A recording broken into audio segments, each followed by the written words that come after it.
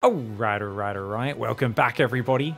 It's been a fun week sitting on the sidelines of the greatest of all time discussion, watching everybody shout at each other, call each other names, and basically clutch at straws to justify where their favorite player, or why their favorite player, I should say, is the best in the world. In this video, we're going to go through it all. We're going to explain some of the drama, some of the details of these players' careers, and uh, of course, at the heart of it, we're going to explain why people are literally just making crap up. And uh, there's just so many justifications and mental gymnastics to come to some of the conclusions people have gotten to. We're going to go through it and break it down. So first of all, the list finally finished the other day. We got Serral at number two about a week, uh, about five days ago. And then we got Maru coming out just after that at number one. Now, this came out just after Serral defeated Maru 4-0 at Katowice, so it's especially controversial to say that Maru is number one and Serral's number two coming out at this time. But this is not decided on by the Great StarCraft Authority. Uh, this is not something people voted on. This is simply an opinion piece that took a lot of time to write by Mizenhauer. Now, Mizenhauer is a great writer on, on StarCraft 2 Team Liquid website, goes on there, and, and, these articles are actually a great read. You guys should read through them. Each one is like an essay. It takes a long time to read, but there's so many good memories. And if you haven't followed StarCraft 2 for all its history, you might actually pick up and learn a lot of things. For me, I spent like four hours on stream going through some of the articles, looking up old videos and matches, and just having a great nostalgia trip. So overall, massive thanks to Miz for putting the effort into writing the articles even though I think he's completely wrong in the way he's actually ranked the players. So before we get into the criticism, let's talk about how he did actually rate things. So he actually set up a rating criteria at the start where he said, look, there's different periods. The most competitive was 2013 to 2015 when KeSPA was in for Heart of the Swarm. Uh, he also was a few weird, many, many weird things with how he rated things. The first one being he's like, basically, only think second place is worth about two points and winning a tournament worth three. Whereas in the GSL point split, when you get points, normally it's you get two points for winning and just under one for getting second place. So he's basically saying, hey, if you get to the finals, that's worth a lot more than tournaments normally actually place it in terms of points in a circuit. This is crazy because for me, I'm like, dude, who remembers second place? I used to be a competitor. When I got second, no one remembered. I'd be angry. I'd count it as a failure. The thing is, none of the fans, as well as a lot of the commentators, even remember who comes second in a lot of these tournaments. The only time you remember is you remember who won and you go, oh yeah, he beat so-and-so. They're the person who got beat in the finals. Don't get me wrong, they still did a lot to get there and they do deserve a lot of points. But I think if you think about this in terms of the legacy of a player, the achievements, how much they are remembered in the fans, the audience's minds, as well as in their own mind, what they achieved, I think winning is worth a lot more than 1.5 times as much as second place. I think it should be worth probably more than double. Two to one is fair, but maybe even uh, two and a half to one, three to one potentially. I know that might be a bit extreme, but I really feel that when it comes to sporting events and competition, that first place is so important. Now, Miz goes on to basically say, look, the, the, the gold standard here is Korean Star Leagues, GSL, Star League, Pro League, uh, and during players' prime year, so when they were playing their best. Not if they had a bit of a tail end where they lost a lot of matches, he's kind of excluded that, which is fair enough. I think that's totally okay. So I think I should actually give a bit of context about 2013 to 2015 because I actually agree with this, by the way, being the peak period. I competed in this period, started commentating in the middle latter end of 2015 because I could not win money during that period. Not much, anyway, a little bit. It was very, very hard. There was so many pro gamers, and the reason is the only re- like LOL was picking up in 2013 onwards uh, there was no other real big esports in that period, right? Uh, I think it was like late 2015, early 2016 is when CS really started to pop off. Uh, Dota, I guess, started to pop off maybe around 2014, 2015, but StarCraft 2 was very much the biggest esport leading into this period, and it still had a massive amount of focus of much of the esports talent. A lot of audience was still watching, a massive audience, uh, but also the pro gamers in Korea were focused on it. And when KeSPA got in, this was the teams that were sponsored by Samsung. They were sponsored by Jin Air, Green Wings, KT. All their biggest corporations had teams. It was on TV. All people cared about was winning kind of pro league matches. They had team houses with coaches and chefs and all sorts of stuff. And it was, it just, there was a huge focus on StarCraft, especially in the Korean scene at that time. So even though if you took a player from these days and, and competed against that, obviously Serral, if he was planted in that game, as long as he got used to the timings of Heart of the Swarm, I think he'd smash. I think in modern day Maru would go back and smash those guys back then as well. But that's because we know more about the game. Players have had more time to figure all the things out. In terms of the raw competitiveness, how many people there were trying to be the best, getting coached, sharing builds, developing the plays, it was an incredibly competitive period in StarCraft. So I think this is actually very fair to rate this period higher. How much higher? Uh, hard to say. Hard to say, but we'll get back to that. Okay, so we've got the gold standard, these these Korean individual leagues, um, saying, okay, that's really important. And basically saying, look, GSL from like 2023 onwards isn't worth as much because obviously not as much prize money or anything. SSL 2017 also wasn't as important. So the tournament, you know, fell off or whatever. It does get uh, worth less. Super fair. Um, Miz has also said, hey, look, World Championships, I weighted World Championship tier tournaments to be equivalent or slightly more valuable than Korean individual leagues, depending on the specific tournament. Now, at first, I was like, come on, don't put WESG in the same tier as these. Like, there's, you know, Gamers 8 even last year popped up anyway. Lots of prize money. People, players cared about it. Same with WESG. But you just had one round of qualifiers leading into a new tournament with no history, uh, no big live audience there. And it's not a tournament that has the same sort of memory behind it in the fan base as an IEM or a BlizzCon. So an IEM World Championship, that is, or a BlizzCon. These are the tournaments that had huge crowds. There were circuits leading into it where you get points over the year there's a lot more story building, there's a lot more um, memory and therefore importance in the player's minds when you're playing in front of that big crowd of people who really care about what's happening. So I do think those are a bit more important in that regard. But in terms of like competitiveness, I think what Miz is saying is actually completely fair. So like a lot of the early world championships had these 16 player single elim uh, formats, BlizzCon 2016 to 2017 as well. Uh, you know, it's like an eight player quota you know, where half of the players are coming from the foreign region. It wasn't very strong at that time. They all lose in the first round. So fair enough. He's saying, look, these ones not as competitive. But once Serral and Reynor came out, 2018 World Championships onwards are actually worth more. So there's actually a lot of fair criteria in here, along with the ones that I actually disagree with. Also, WESG was definitely weaker. Um, and, and by quite a lot. Not only being a new tournament, it also had a weaker, you know, player pool. But Miz said I counted them to be worth just slightly less than a season of Korean individual leagues because of the amount of prize money that would have made it a high priority for players at the time. I, I don't think that makes up for the fact that it is a less competitive tournament necessarily. It does a bit. I think just it should be maybe not just slightly less. I think it should be a bit more less than that. I really don't think WESG is a big tournament people remember the matches from for the most part. Um, and, uh, you know, I don't think it left that big a mark on the legacy of StarCraft, as well as, of course, having you know, a format that was less competitive. Um, they've also said that basically the uh, 2020 to 2023 season finals for ESL Masters and DreamHack are actually similar to Code S. That's because there's no more region lock, Koreans, foreigners, all the best players in the world are all playing together in these. And they've also said, look, we're not penalizing the pandemic online era. They were still competitive, still high prize tournaments. Just because it's online, we're still going to count it, which I think is fair enough. It also helps Maru a lot because Maru does not play well overseas, and he plays much better when he's actually playing online from home. He had a great end to 2021. We'll, we'll get to that later. And then there's a bunch of stuff about other tournaments being rated differently, but let's move on from here. Let's actually go to number one. Let's talk about Maru's achievements. What makes a player the greatest of all time?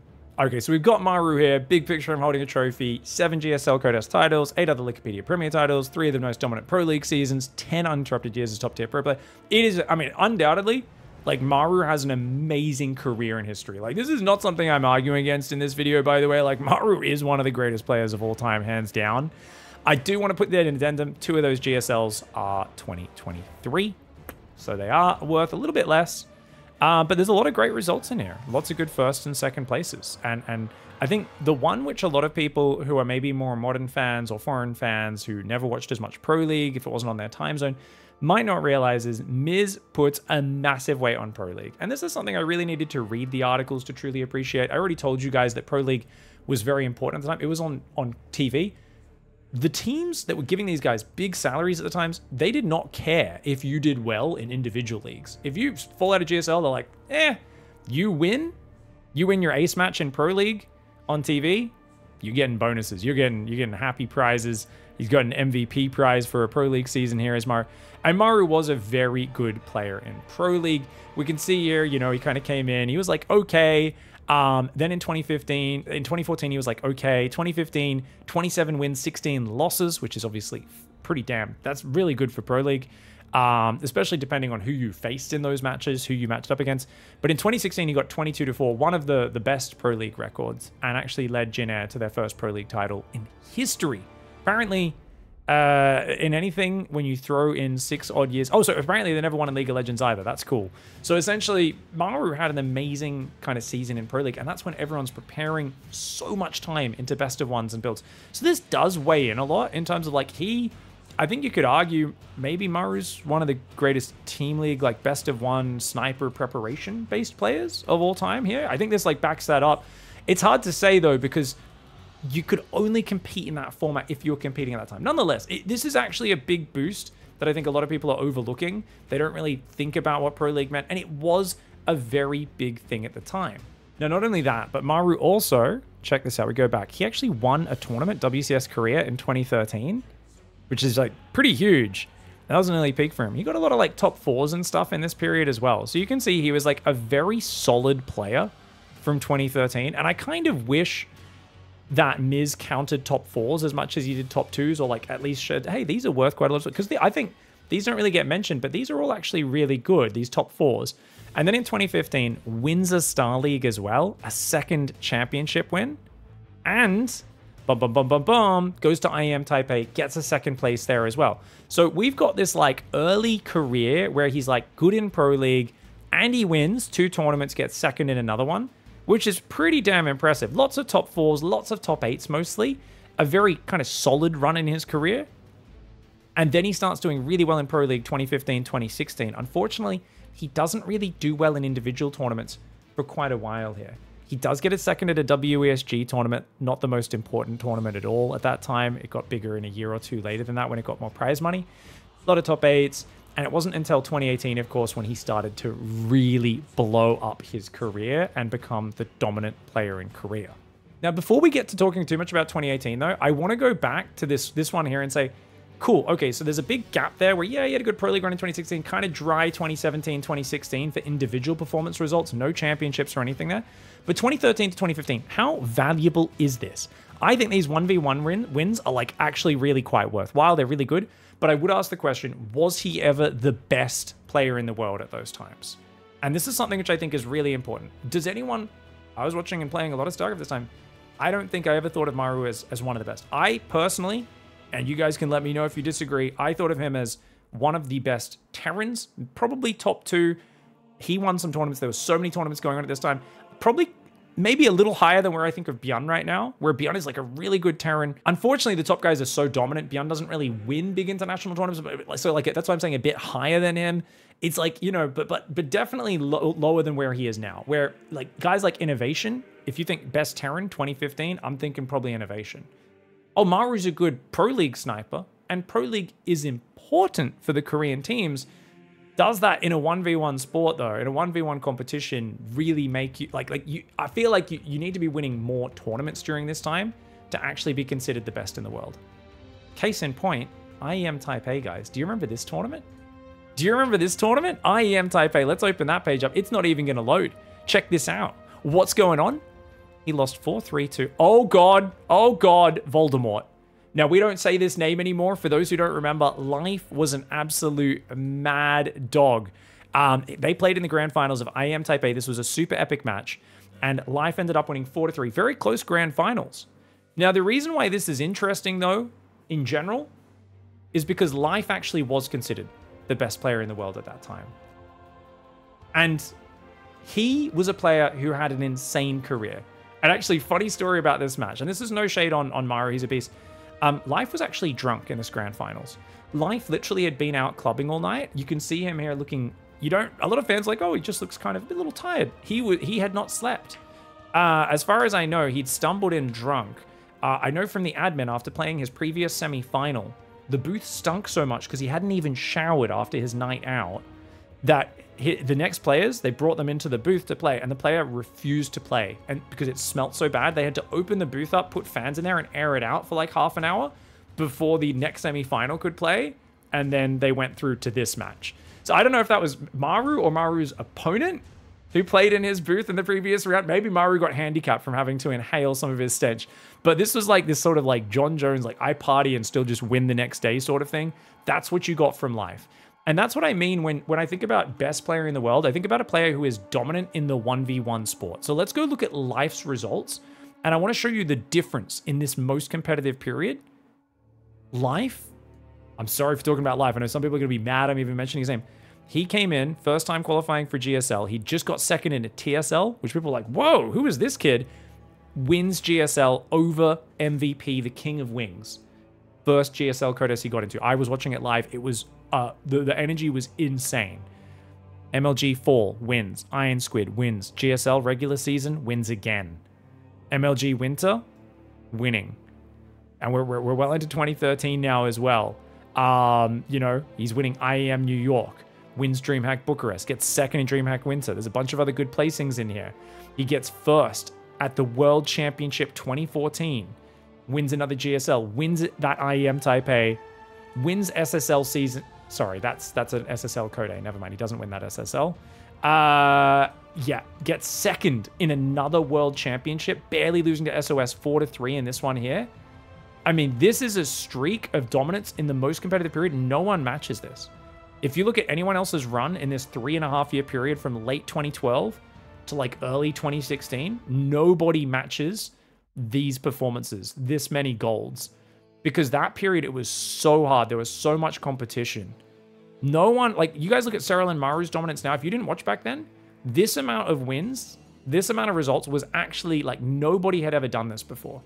Now, for those who don't know, Life then got caught for match fixing. He'd thrown a few maps that people had bet on, and then he'd won the series anyway uh, in like Pro League, or I believe in a few other matches.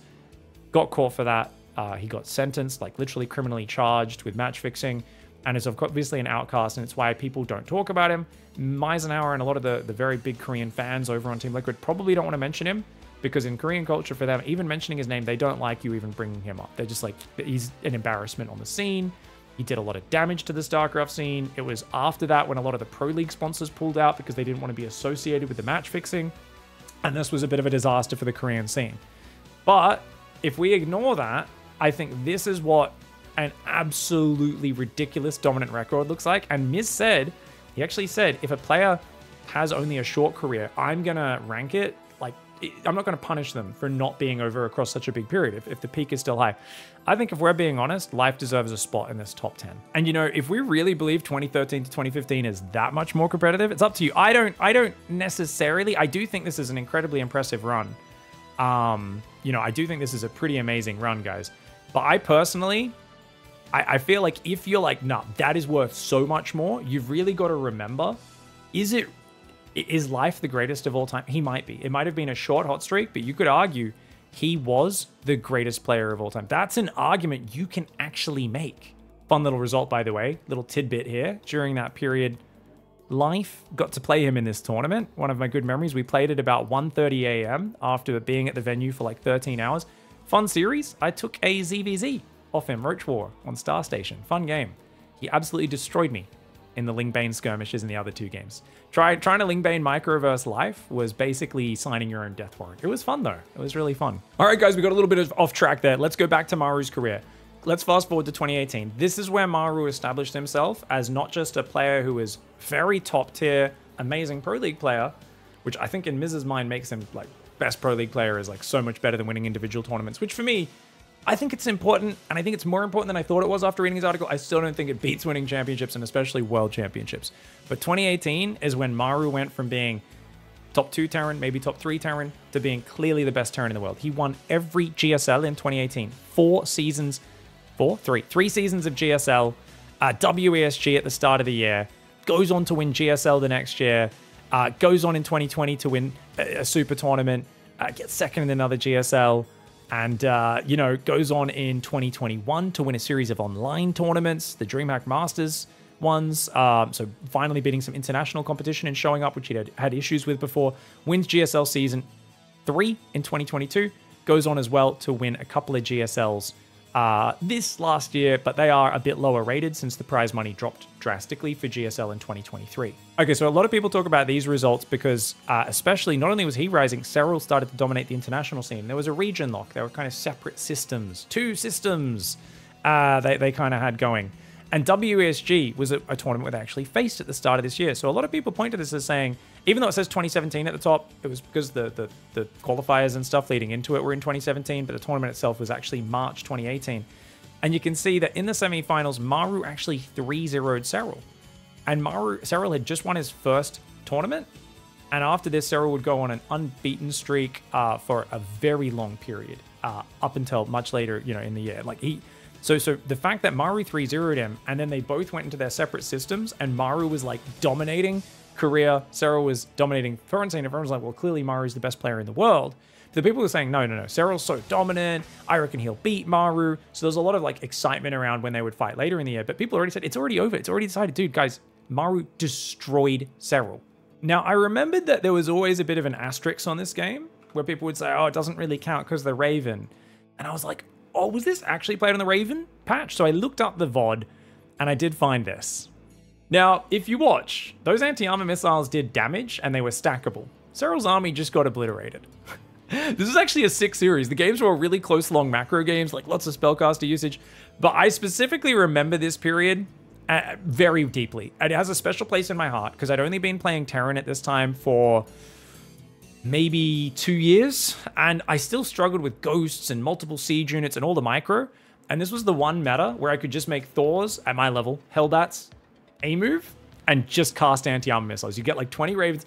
All you needed to do was survive to the late game and you were unkillable. Terran was kind of busted because storms, fungals, parasitic bombs, no other spell splash damage in StarCraft is stackable. So even though it costs 75 energy per missile, you couldn't really dodge them. They go out really quickly. I'm going to show you guys that last fight again. Just look at how quickly the anti-armor missiles come out and you're really going to realize just how powerful this was.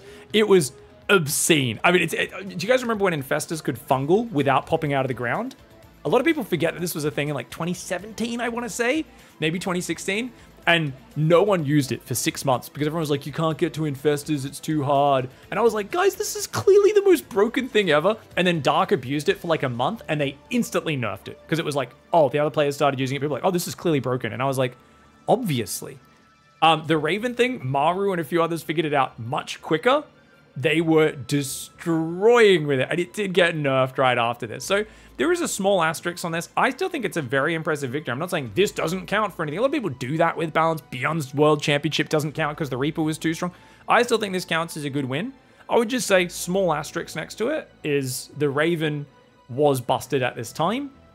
Fair enough, though. Maru still won. It still counts as him beating Serral. I just don't think it is the end-all and the be-all. Number one, it's only one match. Number two, Raven was busted and got fixed right afterwards. All right, so you basically had Serral crushing his scene, Maru crushing his scene, and what we're actually looking at now is people were so excited for this tournament. It was GSL versus the world. Was the first time we got to see the regions clash and decide who is greater, Serral or Maru.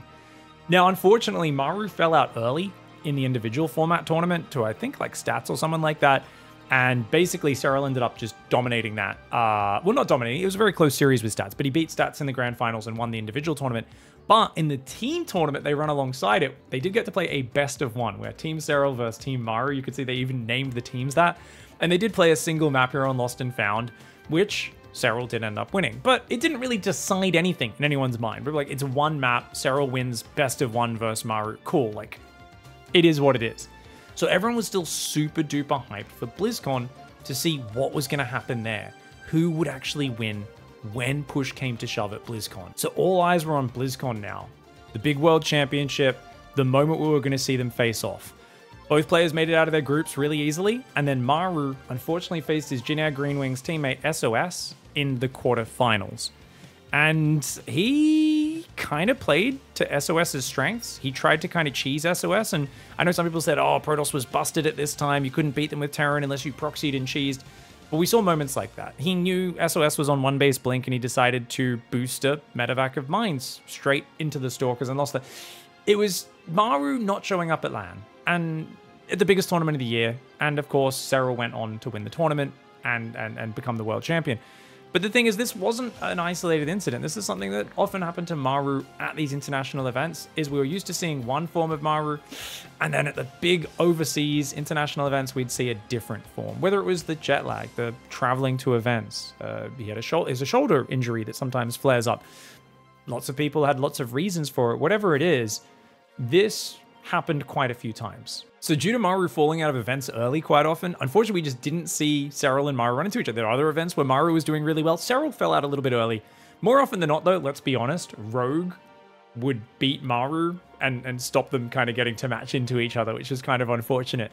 I mean, Rogue is a monster, no shame losing to him. But we just got denied the Serral Maru match for a long time in 2019, and we were almost like, I guess it's never happening. We're never going to have this decided, those two playing at a live tournament.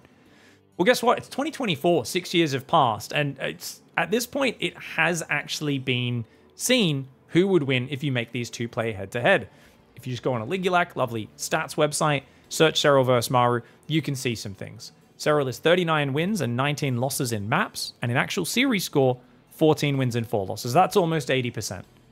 That's almost 4 wins for every loss.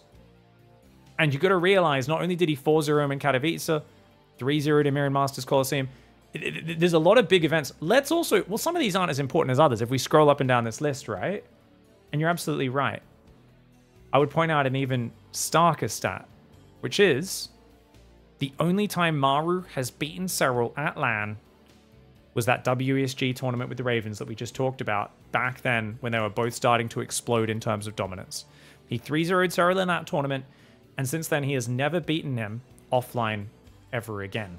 Now, to be fair, that's only five times they've played four wins for Serral, one for Maru. But it's often coming in pretty damn big events, important tournaments, and it is hard to argue with when it keeps happening like that. Because often, not only is Serral beating Maru when they face head to head, when Maru's getting knocked out early, Serral's often going on to win the tournament. And this is huge because, I mean, if we've got a GOAT debate between a guy from 2020 and a guy from 2010, you're never going to decide. It's always going to be subjective, right? You're like, no, he would beat him. He wouldn't beat him. Nah, he would. He wouldn't. You're going to be arguing for, for days. And it's fun. It's fun. It's awesome. But you don't really draw any conclusions. I feel like when you have a GOAT debate, who's the greatest, and they're playing the same age, it just solves things kind of for you, doesn't it? When, you know, they play at the same tournaments and one wins and the other doesn't. Now, now you can argue these are different formats. You can argue these aren't the format that favors Maru. I would also argue they're the most prestigious tournaments in the world, and therefore it's kind of hard to go and place, you know, these best of ones and these these GSL tournaments higher than the most prestigious tournaments in the world. It's very hard to do that. Anyway, before we get too stuck into the comparisons, let's actually just look at Serral's results so I can talk you through the ridiculousness of, of what this career is. All right, guys, so look at Serral's ridiculous career wins Leipzig in 2018. He's just finished high school, gets his first finals in Jönköping. I think he was still in high school at that point. And when he finishes school and puts all of his focus on playing, it's just like you just see this crazy difference. Same thing happened with Neeb when he finished school as well. You see these these players suddenly give their all, and it's crazy. Top 8 at Pyeongchang, top 4 at Katowice, got beat by Classic there 3-0, got kind of smashed. WESG, 3-0 by Maru. So not an amazing international start to the year. Kind of getting his feet under underneath him, used to playing these international events, getting gets wrecked a bunch of times with very high placings still. Very high placings, not bad. But then he wins every WCS tournament that year. Leipzig, Austin, Valencia, Montreal. Montreal's the only one that was really close uh, because Reynor kind of finally was turned 16 and was able to play in, in tournaments because he wasn't allowed before that legally. And he actually almost beat Serral there as a 4 to 3. But other than that, it's great. Wins GSL versus the world goes to the global finals, beats Stats there in the finals, 4 to 2, beats Rogue, who everyone thought was going to win once Maru was eliminated 3 to 1, wins Home Story Cup. Uh, top 8 at Katowice, wins WCS Spring, wins GSL versus the World in 2019 again. Obviously, lots of top twos and top fours I'm not even really mentioning because we'd be here forever. Wins WCS Fall, wins another Home Story Cup, uh, wins uh, DreamHack Summer, wins DreamHack Winter, ignoring all the second places. There's a billion of them in there. Uh, wins DreamHack Winter and DreamHack Fall in 2021. Uh, that's the EU DreamHack Winter, sorry. And then he wins the overall DreamHack Fall. Uh, wins the next season two tournament, barely over Lambo. Lambo did a great video about that one. Katowice 2022 wins that over Reynor 4 to 3. TSL 9 wins that one. Home Story Cup wins that one. And you can just see how many golds there are across this period. Similar to what we looked at with Lifes earlier, but over a six year span. SC2 Masters, ESL Summer, Masters Coliseum, SC2 Masters, Masters Coliseum, and of course the 4-0 Katowice over Maru here that we've just seen very recently. Don't get me wrong, he doesn't win every tournament. No one does in StarCraft. It's such a high variance game. There's so many things that go on. You play so many matches, and when you're one of the best players, everyone studies you and comes in with sniper builds prepared to take you down. You do, you don't, no, nobody wins everything they play. But this here is obviously a massively impressive list of results that is just stunning. Now, obviously, Miz was saying, well, a lot of these tournaments aren't worth as much. They're region locked, and I get it. I get it. The region locked tournaments aren't worth as much, and that's true, but they're sprinkled in with him beating the best players in the world from those more competitive tournaments at the same time.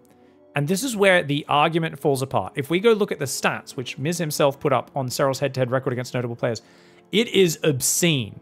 Notice, look at this column here. Offline only is what we're interested in. You can look at online as well, and those, those stats are sometimes even crazier. But I, I really like offline only because it shows these are like the big live tournaments. Players have flown in, there's tons of money and prestige on the line. These are the most important events. He has an 80% win record versus Maru, 4 to 1. 100% versus Rogue, 70% against Innovation. Wait, wait, let's just read the 100%. He has 100% versus Rogue, Dark, Trap, Cure, Hero, and TY on LAN. And it's not a tiny sample size. It's not a massive sample size, but still 40, 60, 40, 20, 20, 30. That, nobody has stats like this. Nobody. He's got 12 to 4 wins versus Reynor on LAN, 75%. 6 to 1 versus Clem, almost 86%. The only player he's negative against here is Solar, and that's a really small sample size of 1 to 2. If you look at their online, obviously it's 14 to 5 in his favor, 74%. You know, uh, is Solar going to keep beating him there? I think there's strong doubts on that for a lot of people because now he really is ready. Every time he's played Solar since then, he's looked on a different level. The, the next closest is Stats at five wins, three loss, 63% win rate, and then Sue, who's got three wins for six losses against Serral. Serral's win records during this period are absolutely insane. So you can look at these results and you can basically compare them and go like, oh my god, don't get me wrong. Maru's winning GSLs, which you could argue, and I think you're absolutely correct. Those GSLs in 2018 were harder to win than Serral's WCSs. And that's actually a decent argument. The problem is that Serral showed in between winning those tournaments that he could beat the best from GSL repeatedly. That's where things get funny. So basically, Serral's shown up for six years straight, beat the best players the world has to offer, but because those other players, most of them have played in the Korean region in their own tournaments, if you have good results consistently there, you there have stacked up a more impressive resume than Serral. I think that's an actual argument you could kind of make here you could say Maru has a better resume than Serral. Can you say he's the greatest player compared to Serral? If you're just looking at like how many high placings and wins in hard tournaments, I think there's like there's a way you can almost like statistically like just make sense of this with the way Miz has like done their rating system in a way. On the other hand, it's it's it's kind of crazy because his achievements aren't as good even though he's clearly the better player is essentially what we're saying right here. Is that not insane? I saying it out loud, I'm like, that sounds insane. So, I mean, what, what would Serral have to do to, to defy this, though? Because you got to realize when Maru was doing that stuff in 2013 to 2015, Serral was still in school. Did Ser Serral needed? Should he have left school when he was 15? Go to Korea, compete in pro league, compete in those other leagues? Because if he was he born too late? Did he need to leave school early? Like, what exactly are we saying here? Is it like Serral can't possibly prove he's as good because he couldn't compete during that age? To, me, that if you prove you're better than Maru and you're better than all the guys Maru's competing with repeatedly, it's so it, it's so crazy. Like if these GSLs later on that Maru won are still worth so much more, you're like, well, well, no, it's not just that, but these GSLs are worth more than the regionals. It's like, but he keeps dominating the best players from those tournaments. Does that not lower their rating at all? Surely it should.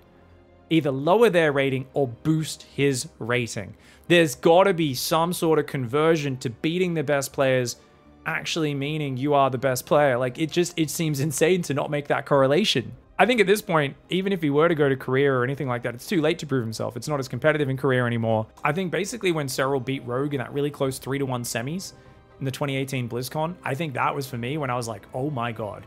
And then the fact that he kept doing that sort of thing over and over again and beating the best career that was when I started to like see him cement himself I was like, this could, this could could be the greatest, you know, if he keeps this up. And he did keep it up for six years. And this last year, like literally up until Katowice a month ago, it has been the most dominant we've ever seen Serral.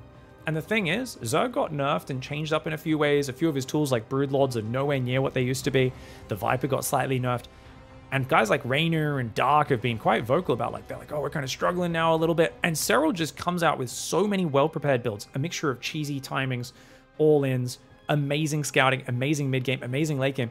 He's really evolved to the whole package. He started as a very defensive, scouting oriented player. Now he does everything. And that is just so, so impressive. He's shown that he's not just a guy who's going to be there for a year or two or abuse one thing. He's developed into the whole package. And when players are playing against him, they say, Serral's playing the styles we hate to play against. That's what Maru said after Katowice. He's like, dude, even after I watched Serral versus Clem, I realized he was going to play all the things that us Terrans hate to play against. He said that in the interview with Crank. And that's what I was I was thinking watching it. I was like, wow, this is annoying because you can't assume anything. He's always bringing out surprises. He's so hard to play against. Okay, guys, so so you can hear basically Serral is clearly the greatest of all time. I, I don't think there's any real serious argument about this. Uh, people will disagree, and I'd, I'd love to hear it. But I wanted to address one thing I've seen a lot in the threads and the forums of people saying. People have been saying Terran is weak. They were always weak. They couldn't beat Protoss for like 2018, 2019, 2020. Terran's been the weakest race, and Maru's been the one guy who defies the imbalance inherent within StarCraft. And this is honestly probably the best argument you guys have for like Maru being the greatest of all time. It's it's not that he didn't play as an outlier. He did. He was a big outlier in 2018, 2019, when, when a lot of Terrans, especially in Korea, were struggling, especially in TVP. The thing is, when you start making arguments based on balance, it gets messy, right? So so if TVP, ZVT are like 0.5% out of balance, it does make a massive difference on pro results. It's just hard to separate balance from pro performances, right? So if you say, just look at the stats, look at the stats, everything should be 50 50. Um, number one, who who uh, who are we balancing off? Uh, top eight players, who's actually winning the tournament? Top 50, top 1,000, all of ladder. Who, whose results, whose statistics are we looking at? Number one. Um, number two, isn't it always going to be the case where like if one race has a few really well like say it's 50-50 and then you get a few players come up for say Terran they're way better than the players the other races. That win rate goes up and then you're like oh if we're, if we're looking at tournament results and then you're like oh we're just gonna nerf that to balance it out. Basically anytime a player is is exceptional like imagine in this fantasy world where like the, the game was balanced every month to keep it 50-50 in, in all directions between the races you'd end up with this situation where you've got three factions who are just kept at 50% no matter the skill of the players. Oh, you're really good? You just get nerfed down. You're you're you're you're excelling too much, we're going to nerf your race down. And don't get me wrong, that probably to some extent does just kind of happen naturally in StarCraft because things do try to get back to 50-50 and like people like we heard Byun got Reapers nerfed and, and this sort of stuff does happen. But uh, I think it's something where it's it's so nebulous to figure out like where is the actual balanced point? Where is player skill end and balance start? And I don't have an answer to that. I'm not going to say you're wrong if you have this view. I'm not going to say that. I'm just going to point out you can't prove your viewpoint. It's really hard to prove. It's very hard to even discuss. So if you want to have this discussion, feel free to get into it with each other. I just feel like we'd need to write a 50 page article to even begin discussing it. And I don't think we'd get any conclusions out of it. We'd just get more questions, you know? Uh, 42 is, is the answer. We're like, oh crap that's the, the meaning to life. I guess we need to figure out the question now. It's it's essentially that scenario. It gets way too complicated. Anyways, Serral's clearly the greatest of all time. Anyone who disagrees is a dum dum. Shout at me in the comments about why I'm wrong, and uh, let me know who you think should have been on the list that was uh, maybe uh, completely shafted. Dark, hello.